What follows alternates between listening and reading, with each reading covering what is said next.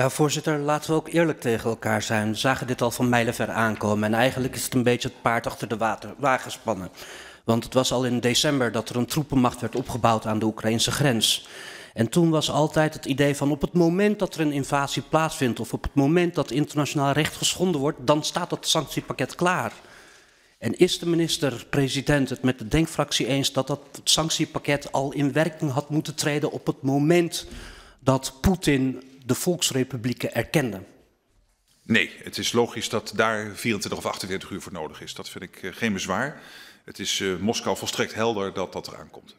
Ja, voorzitter, dan vraag ik me af of zo'n sanctiepakket, hè, wanneer, wanneer je aangeeft dat zo'n sanctiepakket eraan gaat komen, dan wordt dat vanuit Moskou ook gezien als slappe knieën, zwakke knieën vanuit de Europese Unie. Nee, totaal niet. En eh, ik, ik, merk ook zelf in alle contacten die wij hebben dat de, het zeker zo is dat het niet altijd lukt in het verleden om Europa op één lijn te krijgen als het gaat om de gezamenlijke buitenlandse politieke reacties.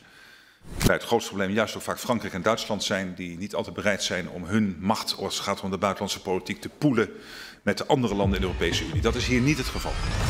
En wat gaan we doen op 14, 15 en 16 maart?